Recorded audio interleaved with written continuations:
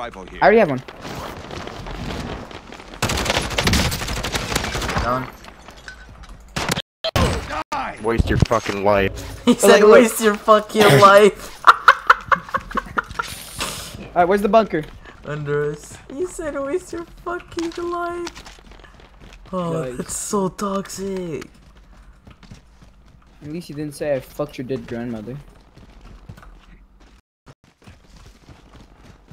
Ooh, I got a good insult for the next time I die. I'm gonna say, your dog sucked my dick. Alright, there we go.